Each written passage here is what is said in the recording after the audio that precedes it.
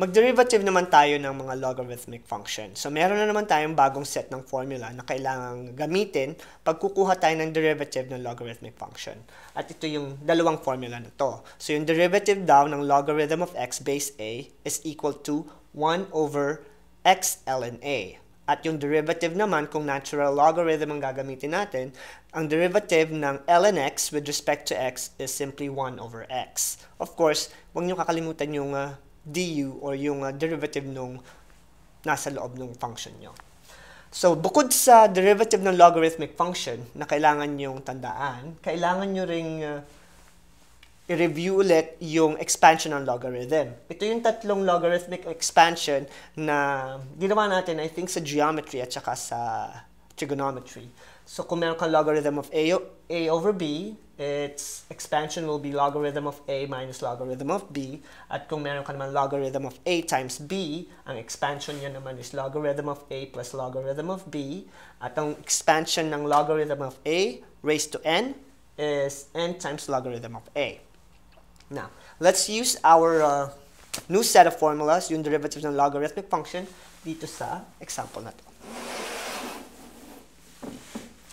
So, sa example na to, ang gagamitin natin is yung rule ng derivative ng logarithm of x. Kasi, kukunin, kukunin natin yung derivative ng function na logarithm of 5x base 3. At sa pagkuha ng logarithm of 5x base 3, f prime of x is equal to the derivative of logarithm of 5x base 3. At alam natin yung u nyo is 5x at yung derivative ng u is 5. So, kailangan nyo yan sa uh, formula ng derivative ng logarithm.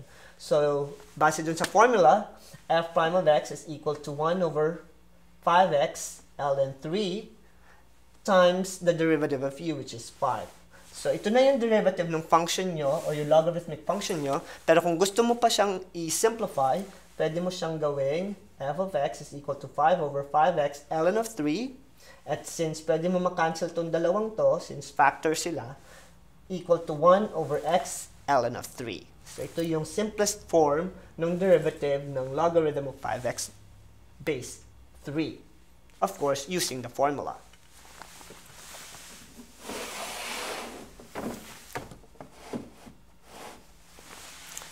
Now, ito naman yung uh, second example. Uh, medyo complex yung function, pero pag ginamit nyo na yung formula ng derivative ng logarithm, mapapansin nyo na madaling-madali lang siya.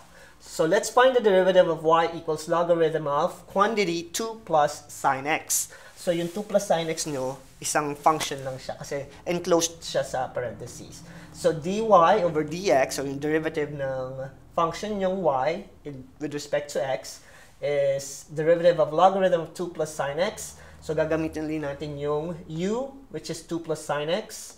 du will be cosine x. Kasi ang derivative ng sine x is cosine x. Using the derivative of logarithm, sa formula ulit, so you have 1 over 2 plus sine x, which is x, yung x nyo, ln of 10. Now, bakit ln of 10? Kasi, dapat matandaan nyo na kapag hindi nakasulat yung base ng logarithm, yung logarithm nyo ay may base ng 10. Kaya, ln 10 yung nandun sa denominator nyo. So again, derivative ng log of x will be 1 over x ln of the base, which is 10, times derivative ng u, which is cosine x, and uh, pag sinimplify niyo pa siya further, dy over dx, or yung derivative ng um, function nyo with respect to x, would be cosine x all over 2 plus sine x times ln 10.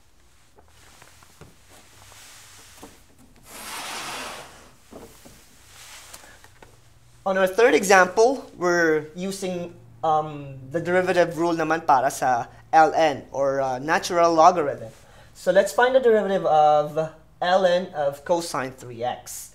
So f prime of x is equal to the derivative of ln of cosine 3x wherein yung u is cosine 3x at yung du nyo is negative 3 sine 3x. Using the formula for the derivative of ln, it's just 1 over x, kaya 1 over kung ano yung uh, function nyo, cosine 3x times the derivative of u, which is negative 3 sine 3x. And to further simplify your derivative, f prime of x is equal to negative 3 sine 3x all over cosine 3x. Now, wag na wag niyong ika-cancel yung 3x kasi hindi siya pwede i-cancel. Kasi yung 3x nyo is with sine at yung 3x nyo is with cosine. So, magkaiba sila ng term.